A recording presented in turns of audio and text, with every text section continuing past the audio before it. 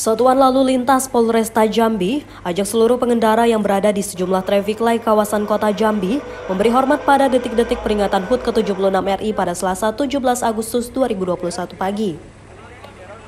Personil dari Satlantas Polresta Jambi turun ke sejumlah titik traffic light, kemudian menghentikan semua aktivitas lalu lintas jelang lagu Indonesia Raya dikumandangkan melalui pengeras suara yang berada di kawasan perempatan lampu merah.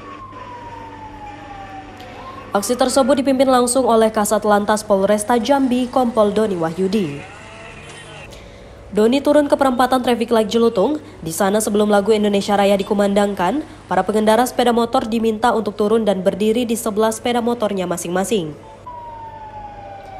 Kemudian dengan sikap sempurna, Doni berdiri di depan pengendara dan memimpin langsung penghormatan kepada bendera merah putih yang dipegang oleh satu personil pada detik-detik peringatan HUT ke-76 RI.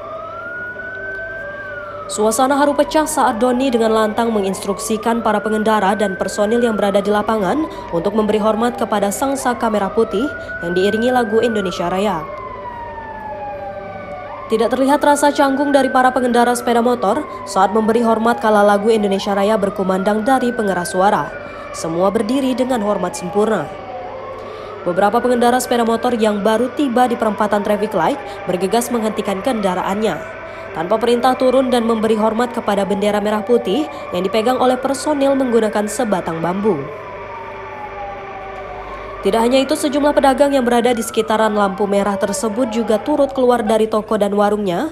Mereka bergeser ke tepi jalan raya dan ikut larut dalam suasana haru peringatan HUT ke-76 RI yang masih dalam kondisi pandemi saat ini.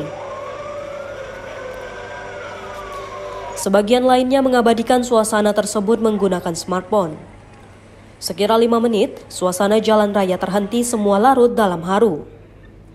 Setelah lagu Indonesia Raya selesai dikumandangkan, para pengendara sepeda motor kembali naik ke kendaraannya masing-masing. Jalur lalu lintas kembali berjalan, serta para pedagang kembali melakukan aktivitas lainnya.